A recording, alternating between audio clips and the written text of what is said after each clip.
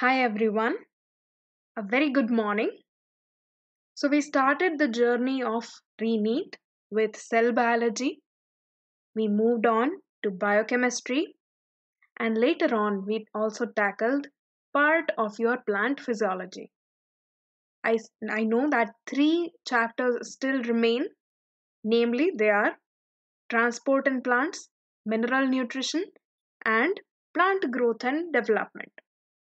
However, apart from those topics, another segment of your syllabus, which is the human physiology, has been untouched till now. Human physiology also carries a lot of marks, so it is only sensible to start with human physiology as well. The other, other chapters we shall cover later on, okay? Nothing will be left out. Now, in human physiology, the system that normally confuses students or what i found they find it a little difficult to grasp is the control and coordination system. Now there are two major systems or organ systems which are included in this. The first one being nervous system and the second one being the endocrine system. So from today we will start with the nervous system or neural control and coordination Fine. Now, before we can go ahead, I hope you all know the meaning of control. Okay, it is a pretty common term that you use in English language to control something. Okay, to have control over something. Now, what is meant by coordination? Let us begin with that term. So, coordination is a process through which two or more organs interact now here we are talking about coordination in context of biology. So we are talking about two or more organs. Clear? So here the two or more organs they are interacting with each other just like how you interact with your classmates, right? So here the organs they interact with each other and they complement the functions of one another. Okay? Com- to complement is to help, okay? To add on to something so um, there are these two organs then they will be complementing each other's function. Okay? For example let us say you are doing some physical exercise. You have gone out for a walk or let us say you are uh, skipping a rope or doing hula hoop or in a gym working out. So basically you are doing some exercise. Okay now, what happens when you do exercise? There is increased muscular activity. You are using all of your muscles, right? Now, when the, there is increased muscular activity, there is also increase in energy demand. Okay, your body is uh, demanding or it requires more and more energy. Now, where do we get this energy from? Easy. We just understood the whole pathways uh, in this previous chapter right? Which was nothing but respiration. So, this energy demand is met by increasing the rate of respiration. So, now your body it will increase the rate of respiration. Clear? Now, as the rate of respiration increases, the oxygen supply should also increase, right? Because we have seen that in aerobic respiration, we require oxygen as the terminal electron acceptor. So, along with increase in energy production, you require increased oxygen also. How do you get increased oxygen supply? So, your breathing, your breathing rate, okay, it increases. So, you inhale and exhale uh, much more frequently. Now, along with breathing, okay, just um, breathing will not help. Why? Because now let us say your blood has enough oxygen, okay, it is saturated with oxygen so, along with uh, increased rate of respiration and increased rate of breathing, your heart rate and blood blood flow should also increase. Right? Only if your heart rate increases, more and more blood will flow through your body, and as the blood flows through your body, it will be able to deliver the oxygen. Clear? And hence, this whole cycle gets completed that you are able to perform this physical exercise in the best manner possible. Clear? Now, let us say you are just uh, sitting on your chair, on your table, and uh, listening to this lecture, right? uh, looking at the pictures. So you are at rest. Fine. When you are at rest, that is, you are not doing any physical uh, exercise, okay? There is less muscular activity. You are just sitting there and listening to this lecture. So you're not moving your hand, you're not moving your legs. So there is reduced muscular activity.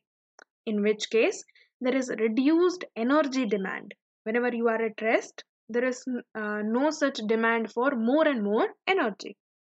Because there is reduced energy demand, there is also reduced rate of respiration. Okay, your body does not require energy, so the rate of respiration should not be higher. Your breathing rate is also normal. Okay, and so your heart rate and blood flow is also normal. Okay, it is reduced, it is normal. So, both of these things, what do you see in both of these examples? You see that the muscular system, the respiratory system, and the cardiovascular system, okay, they are in perfect harmony with each other. They are very well complementing each other's functions. Okay, just like friends, they are helping each other out. Clear? So, muscular system, of course, involves your voluntary muscles. Voluntary matlab the muscles which are under your control. Clear? So that includes your muscular system or skeletal system. Then respiratory system is your lungs. Okay, lungs they breathe in, the breathe breathe out. So the breathing function is performed by lungs. And cardiovascular. Now from the name itself, you can come to know cardio means your heart, and vascular means your blood vessels. So together, along with your heart and blood vessel, the whole system is known as cardiovascular system. So all three of these systems are um, working in perfect harmony. And who is controlling or who is uh, checking that all three of them work together? The answer is your nervous system, okay, as well as your endocrine system. But here we focus on your nervous system. So it is like a team manager, okay. The team manager he or she is overlooking the team and the team is working in perfect synchrony. Now that you have understood the term control and coordination system, okay, you know the word control, you know the word coordination. So, um, as we, as I mentioned earlier, there are two systems which come under this title, control and coordination system. The first one being nervous system, and the second one being endocrine system. Nervous system is what? It is like wires okay? As you can see here there are a lot of wires coming out from one place uh, then getting folded over and uh, getting connected to the other place okay? From left to right so it is basically an organized network of point to point connections. Okay? Just like your landline phones. If you know your landline phones they're connected from point to point right? There is a wire which connects the phone to the uh, let us say network tower okay or the office. So here also in nervous system there is point to point connections. However in case of endocrine system the messages are delivered or relayed. Relayed meaning deliver. Have you ever seen the relay race right? How you pass the baton? Uh, baton is that small rod that you pass during the relay race right? So that is why this uh, term is used. Message is relayed through chemicals known as hormones. So in case of nervous system there are wires. And in case of endocrine system you can um, the analogy you can think of is like a post okay? Uh, let us say you have written a letter or some post. You post it okay? You go and give it to the post office. The post office will deliver it to the uh, person's house right? So this is what happens in case of hormones. Okay? Hormones are nothing. They are chemicals. They are messenger chemicals. Clear? So nervous system is fast acting. Let us say you have this landline telephone and you want to call somebody. You just dial the numbers and then the call directly connects right? The other person just picks up in real time. That is within 30 seconds or as soon as the phone can start ringing the other person will be able to pick it up and talk to you. So same way nervous system is very fast acting. Just think about it. Um, it takes milliseconds okay? You uh, let us say i tell you to blink your eyes how long did it take? Your brain just sensed this message this uh, uh, what you can say order okay? And it directly blinked. So that is how fast it can act okay? So nervous system is normally fast acting. However the endocrine system is comparatively slow. It takes some time okay? You post your letter and let us say it takes about 5 days for the letter to reach mumbai clear so it is comparatively slow. However if you call a person from here to mumbai then the answer the person can answer within 30 seconds. Fine so this is the difference between the two systems. One is fast acting you get immediate results. Okay? Just like that instantaneous results. However in endocrine system you get slow results. Okay? You get slower uh, message delivered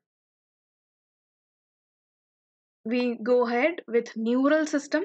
Now in your textbook it is mentioned as neural system. I however will always call it nervous system okay? So do not get confused. It is one and the same. Um, it is just that when you go okay for your higher studies you will see that it is um, normally referred to as nervous system. Nobody calls it neural system these days clear? So uh, just by just out of habit okay? I will normally call it nervous system. It is one and the same. Okay. So your nervous system it is composed of highly specialized cells called neurons. Here what you are seeing is a um, picture okay? It is a microscopic picture taken of your neuron. And this neuron it was uh, stained with fluorescent dyes okay that is why you can see the green colored processes and the blue colored cell. Fine? So these uh, this cell here is a neuron. Your nervous system is made up of these highly specialized cells. The neurons what is their function? Okay how are they special? So these neurons they can detect okay that let us say they can detect smell. Okay you are able to smell you are able to see you are able to taste you are able to feel pressure temperature all of this is detected by your neurons. So neurons they can detect they can receive okay? Uh, so there are uh, different neurons who just receive this message. So they some neurons they can detect some can receive and some neurons are specifically for transmission okay? They what function do they do? They do the function of forwarding the message just like some of your relatives might be doing on let us say whatsapp okay? So just think of them that is what neurons do. They detect the uh, message they receive the message or they transmit the message. Here the messages are known as signals. So from now on i will be referring to them as signals only okay?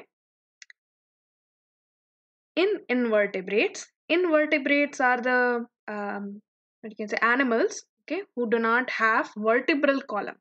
Vertebral column is the uh, backbone that you see in our case okay. Your spinal cord and around the spinal cord there is a vertebral column which is made up of different bones right? So invertebrates are the ones who do not have vertebral column and vertebrates are the animals who have vertebral column. So in invertebrates as well as in invertebrates the type of neural organization is different. So the nervous system is a little different from uh, different phylum or different class to class. Clear? Now i know you still have to study animal kingdom but um, from whatever you know let us just discuss very basic.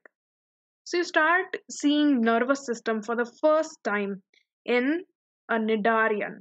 Cnidaria is also known as coelenterata okay? It comes after porifera. And these are simple organism. It includes jellyfish. It includes hydra. Okay?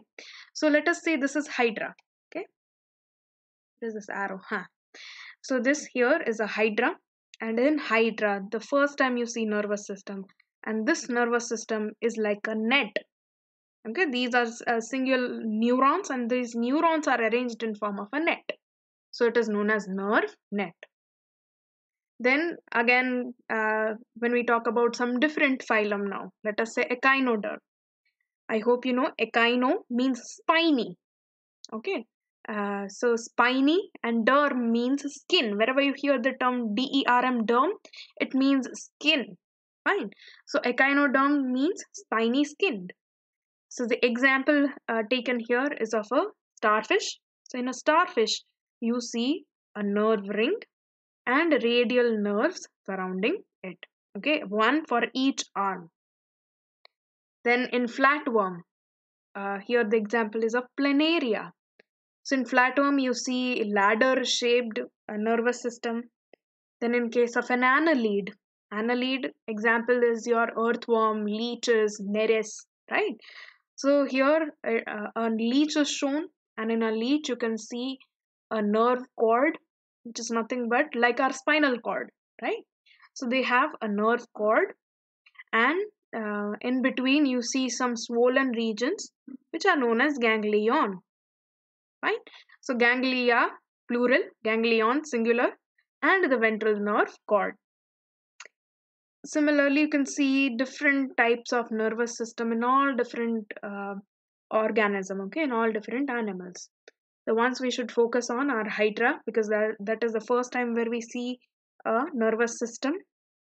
Then insects because you will have to study some basic in cockroach, though it is not in syllabus, but sometimes they do ask questions about earthworm, cockroach, and frog.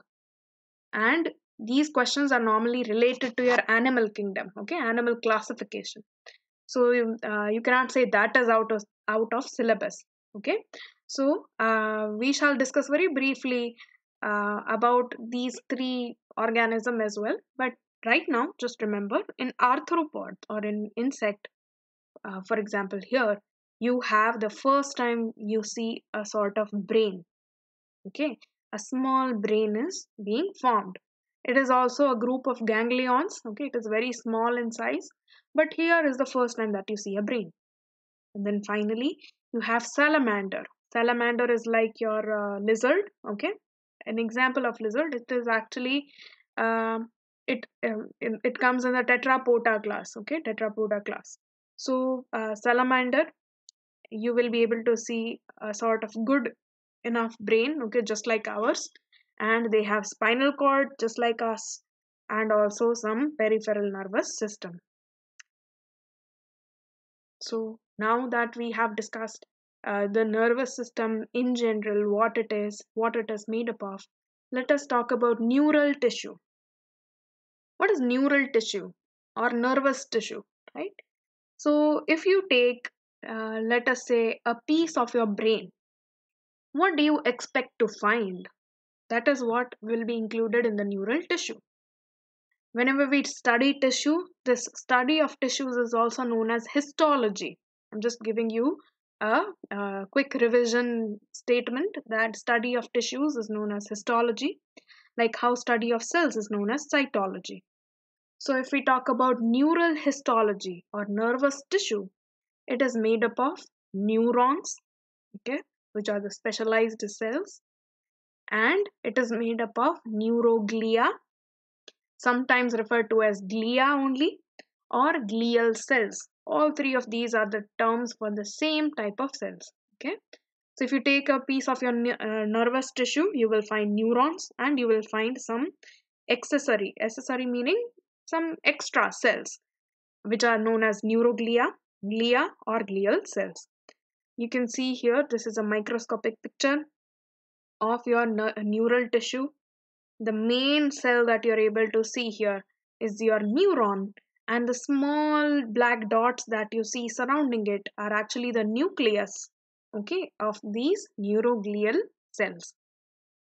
Neuron is a special type of cell okay as we have already discussed. Why? Because it is able to detect it is able to uh, receive and transmit signals. Apart from that it is always stuck in the G0 phase. I want you to go back and revise your cell cycle. If you remember G0, very good uh, and claps for you. So G0 phase.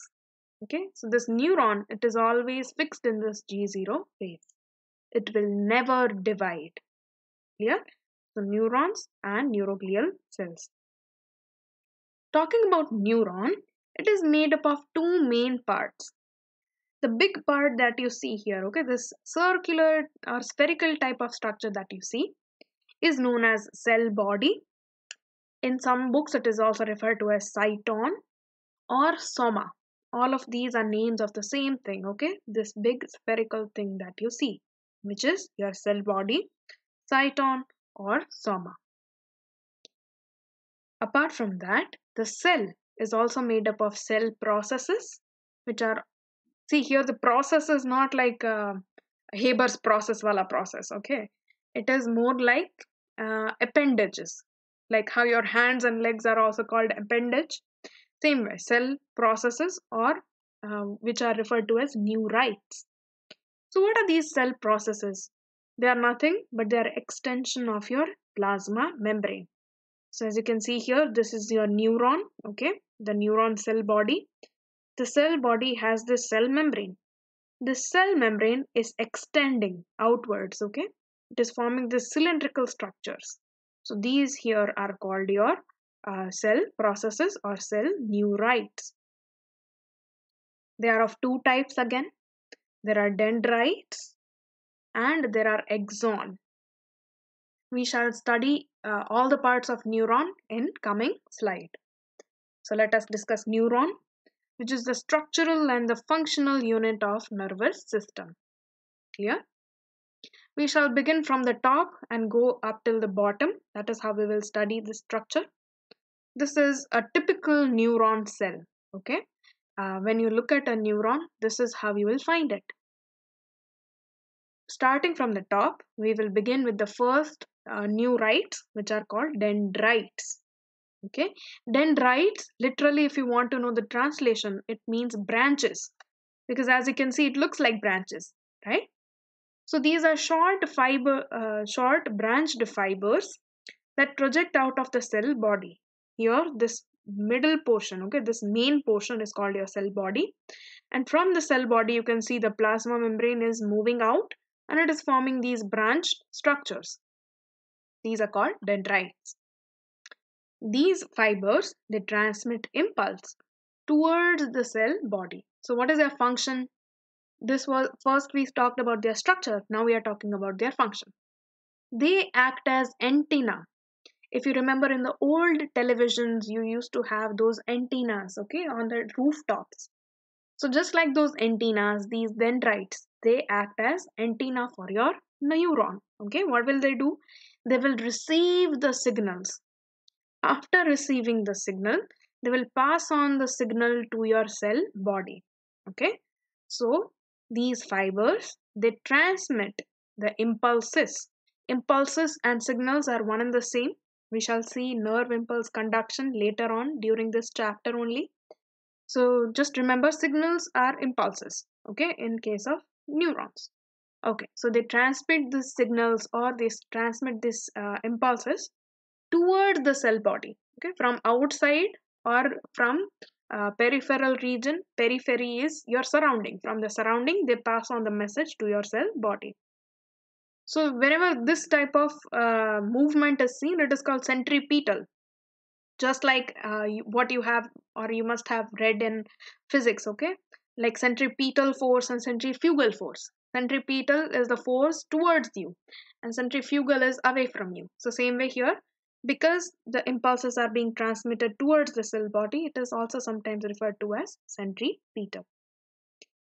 The next part, the main part that you can see here with the nucleus is your cell body. Cell body or soma contains cytoplasm. It has your nucleus. It lacks centrioles or centrosome. Okay, why does it lack centriole or centrosome? Because it can never divide okay? This neurons they will never divide. So normally they, you do not find a lot of centrioles or centrosomes in the cell body. So they lack that. But their cytoplasm as you can see in this diagram can you see it has small granules okay? These small dots that you are able to see are actually called Nissls granules. Nissls granules are named after the scientist who found out these granules okay um, so uh, here are the Nissls granules. Now, uh, what are these Nissls granules? So they are nothing but they are small, small fragments of your rough endoplasmic reticulum. Clear? So they are rough endoplasmic reticulum fragments. They are small, small portions of your rough endoplasmic reticulum, which means they have a lot of ribosomes. And what does ribosomes or what does your rough endoplasmic reticulum do? It does the function of synthesizing proteins. And we shall see later on in this chapter that proteins are very, very, very essential for functioning of neurons. So, because the neuron has a lot of require, requirement of protein synthesis, you find uh, an increased number of such RER granules or Nissl's granules. Uh, one more thing which I forgot, Nissl's granules, you can stain it with Nissl's stain. Okay, so that is why uh, also they are known as Nissl's granules. They are present in the dendrites too. In the starting of the dendrites also, you can see that these Nissl's granules are present. Fine. Moving ahead, you have the next part. Okay, we have tackled dendrites, we have seen new uh, cell body. Let us talk about the second type of neurites or cell processes, which is known as axon. Axon is this long cylindrical structure. Okay, it is just an extension of your plasma membrane and the cytoplasm. It forms the cylindrical structure, and that is known as axon where the axon is connected to cell body this part okay this uh, triangular part here which is not labeled it is known as axon hillock from axon hillock the signals will be passed down okay so the axons they transmit nerve impulses away from the cell body whatever the signal has come to the main center or your cell body it will be transmitted through these axons away from the cell body so this is also known as centrifugal. Clear? Where is it transmitted? It is transmitted to a synapse. We shall see the synapses soon enough. So it is um, um, uh, transmitted away from your cell body towards the synapse. The synapse can be uh, with uh, neuron neuron or neuron and muscle. So uh, there can be a normal synapse or to a neuromuscular junction. Uh, we will see the differences um, after one more slide. Okay. So I hope this much is clear. Axon, it starts from axon hillock and it ends in these bulb-like structures which are known as synaptic knobs. Okay. It branches off like this. And you have these small bulb-like structures which are called synaptic knobs or axon terminals. Terminal as you may have already known it means the end. So the end of the neuron or end of axon is known as axon terminal. And the axon terminal has a structure a swollen structure known as synaptic knob. It looks like a bulb clear now talking about something that you see stuck on these axon okay this axon is this yellow colored structure on that yellow colored structure also you are able to see other things so what are those things these are called Schwann cells. Okay, Schwann after the name of the scientist. Clear? So, as you can see, this is the Schwann cell nucleus and this is its plasma membrane. So, uh, attached to the axon are the Schwann cells. They are type of glial cells. Okay, glial cells, as I had discussed, they are the supporting cells. Okay, and they form a myelin sheath around the axon. Now, uh, this here, the structure formed here is your myelin sheath. What does it look like if you take a cross section? Let us say we took a cross section here and you saw it from above. Then it will look like this. This here is your axon, the orange or the yellow colored part. Okay, so your axon. And surrounding the axon, you have this nucleus of Schwann cell. Can you see? This is the nucleus here. And in the cross section, this is the nucleus. Now the Schwann cell also has a plasma membrane, right? As seen here. So this is the plasma membrane and this plasma membrane will extend. Think of it like a sellotape roll. Okay, if you um, pick up the end of the sellotape and you pull it, it will form this very thin uh, tape-like structure, right? A very tape, uh, thin tape will come out. So now you are, um, what you can say, um, uh, circling this axon with such sort of sellotape. Okay? So here the, uh, in this case in our example the sellotape is nothing but the myelin sheath. Okay uh, this myelin sheath again is formed by the plasma membrane. Clear? So this is the Schwann cell, the Schwann cell's plasma membrane. These plasma membranes are coming together, okay? And very little cytoplasm is left in between. Now this, just like a sellotape, it will go round and round around the axon and this is what is known as myelin sheath. Okay, if you see, it is just the extended plasma membrane of your Schwann cell. Are you able to understand? Okay. The myelin sheath is made up of lipids and acts as an electrical insulator. You must have studied in uh, physics also, there are different types of insulators. There can be heat insulator, okay, or there can be electrical insulator just like your wires which do not allow electricity to come out okay? They do not allow electricity to go out of the wire. So similarly here in case of axons there will be electrical transmission. So to make sure that this transmission okay this electrical signal it does not go outside this lipid it acts as electrical insulator.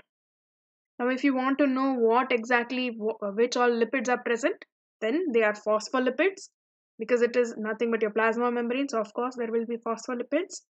Then there are proteins also some um, then there is glycolipids. These are special type of complex lipids which have carbohydrate attached to them. Then there is something known as sphingomyelin okay in which the alcohol is sphingosine and along with this sphingosine the fatty acid is esterified. So sphingomyelin as well as cholesterol. It has the highest amount of cholesterol. So, not all cholesterol is bad for you. You should have enough amount of cholesterol in your diet because it is important for your brain to function properly. Clear? So this myelin sheath is nothing. It is a layer. It has layers of fats or lipids around the axon. It acts as an electrical insulator. Now you can see that there are some gaps between these myelin sheaths. Okay, there is one cell, one Schwann cell here and the other Schwann cell here.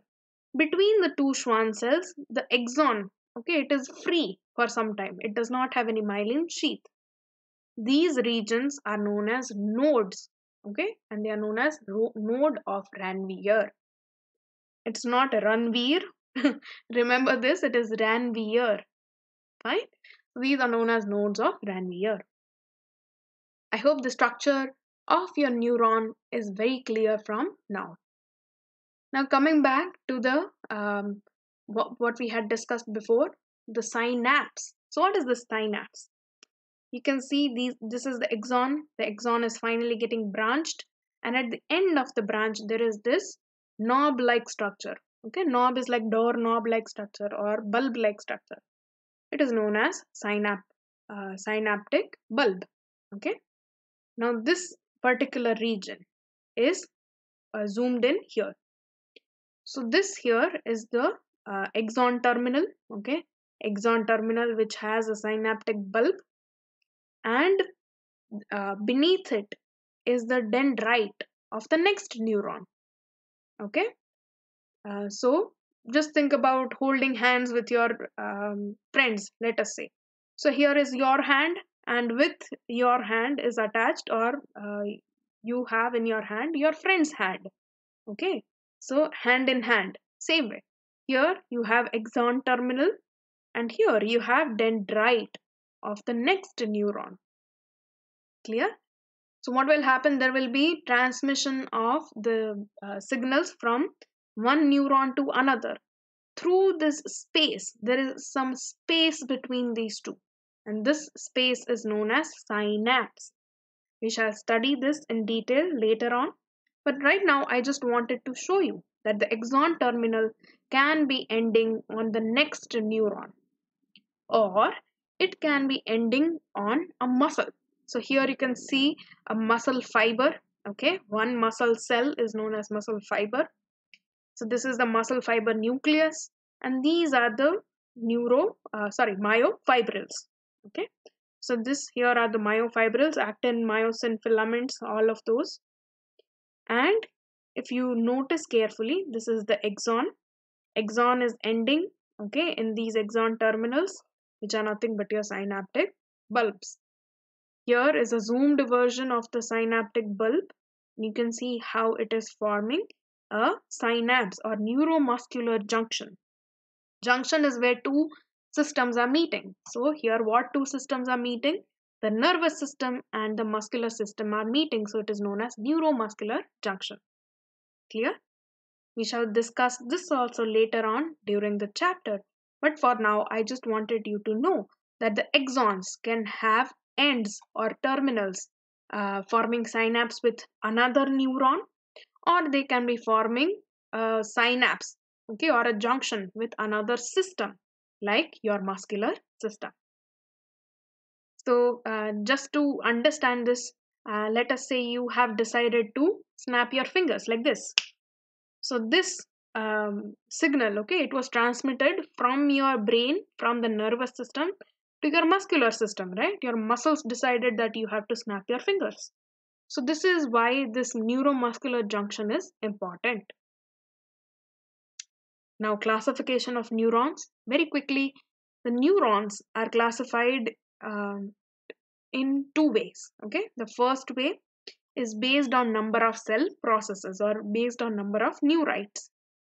The first one or a typical neuron is multipolar neuron. Multipolar neuron uh, as shown here has a single axon okay and has two or more dendrites coming out of its cell body. So location of such type of multipolar neurons is in cerebral cortex.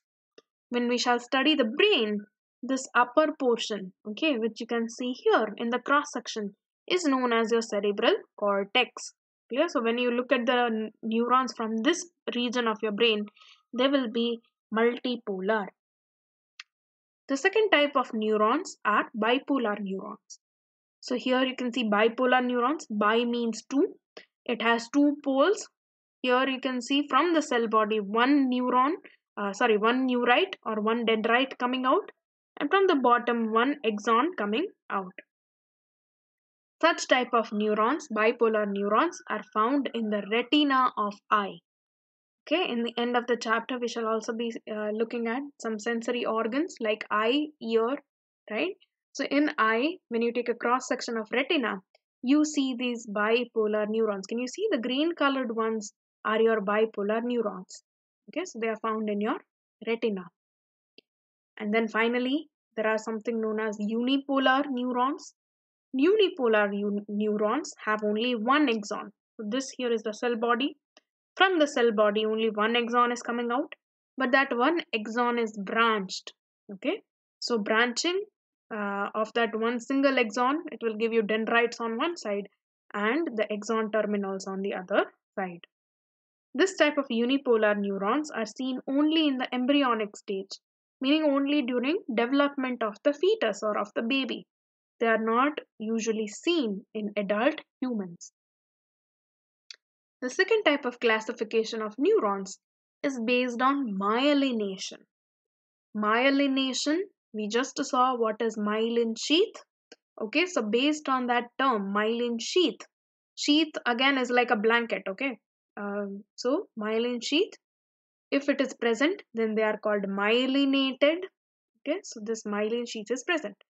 So this here diagram, the first diagram is showing a myelinated axon. So this here blue colored one is your axon and the pink colored one is your myelin sheath. In between two myelin sheaths, there is presence of node of Ranvier. This type of neurons are found in spinal and cranial nerves.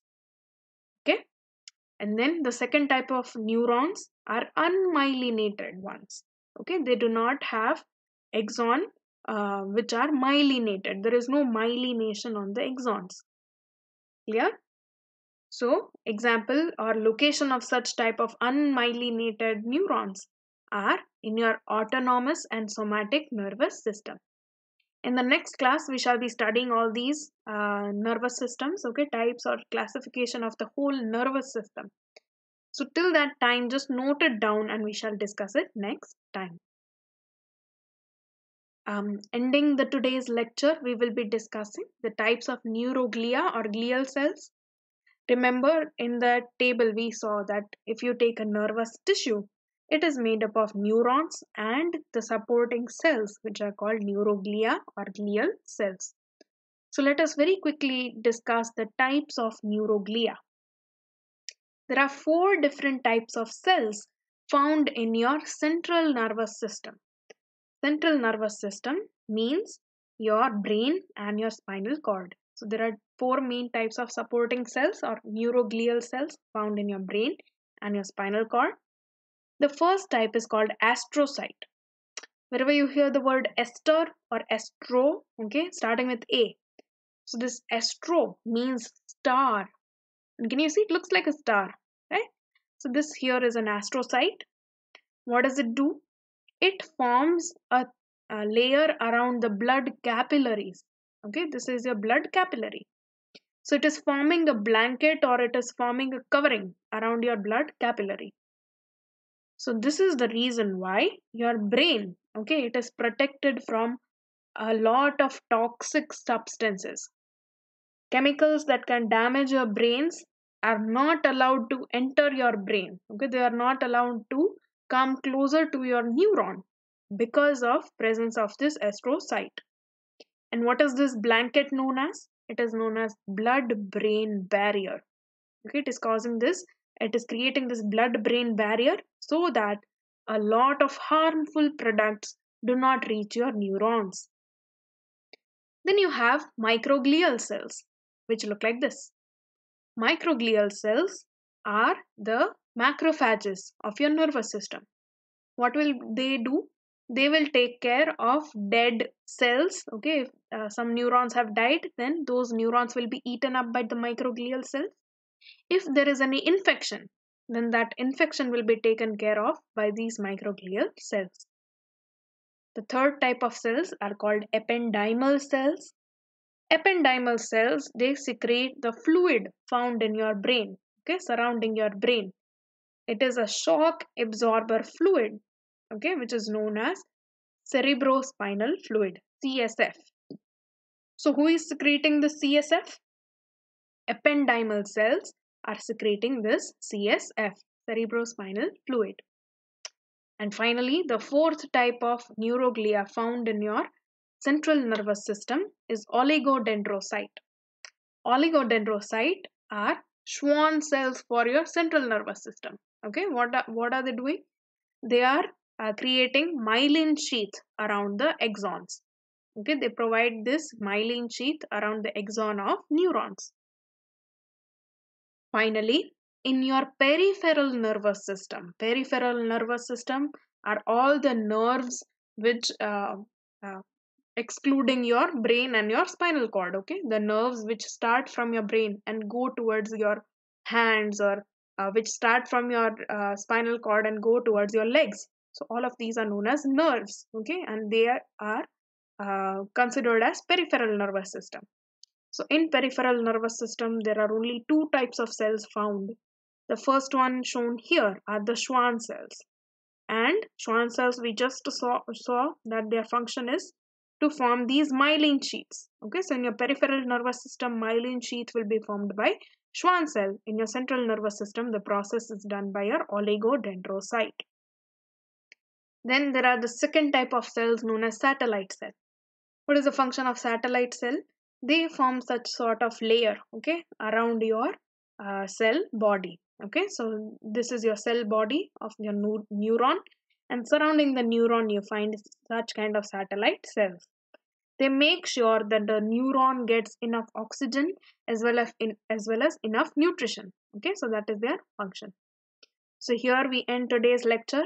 I hope it was um, informative for you and you had fun understanding some basic concepts of nervous system. In the next class we will begin with the next section. Okay and uh, till then i hope you start reading up again. Okay referring to your nervous system um, in your textbook yeah? So see you next time